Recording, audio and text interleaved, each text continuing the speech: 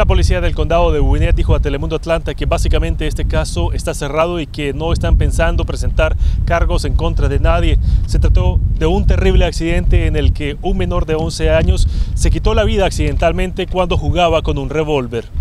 Alan Martínez, de 11 años de edad, estaba jugando con otro menor de 9 en el garage de la vivienda ubicado sobre Apalosa Trail cuando el arma accidentalmente se disparó, dijo la policía. El viernes por la tarde las autoridades trataban de determinar cómo sucedieron los hechos. La policía dijo que no presentará cargos contra ninguno de los padres, sin embargo, podría ser decisión del fiscal. Basados en las investigaciones preliminares, no esperamos que se presente ningún cargo. Sin embargo, en cuanto el reporte esté finalizado, será enviado al fiscal del distrito y él decidirá si alguna persona recibe algún cargo criminal o no. No está claro cómo es que el menor obtuvo el arma y la llevó al garage, ni exactamente cómo fue que disparó. La policía del condado dijo a Noticiero Telemundo Atlanta que la madre no estaba enterada de que el arma la tenía el menor. Creemos que la madre, quien estaba dentro de la casa, no tenía conocimiento que tenía el arma. De acuerdo a los investigadores, la madre creía que el arma estaba apropiadamente segura dentro de la casa.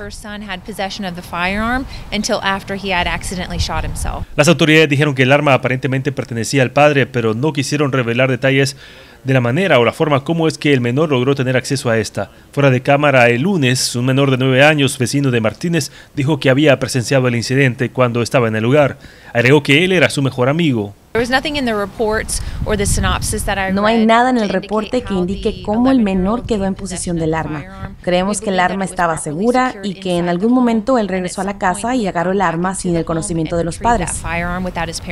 Alan Martínez estudiaba en la escuela secundaria Summer Road las escuelas públicas del condado dijeron que había personal designado para orientar a los estudiantes en cuanto a este tema. Las autoridades de policía del condado de Winnet insisten en que las personas que tienen un arma deben de ser responsables y que tienen que tener estricta supervisión sobre estas para evitar tragedias como lo que sucedió en la ciudad de Norcross. Soy Luis Estrada reportando para Noticiero Telemundo, Atlanta.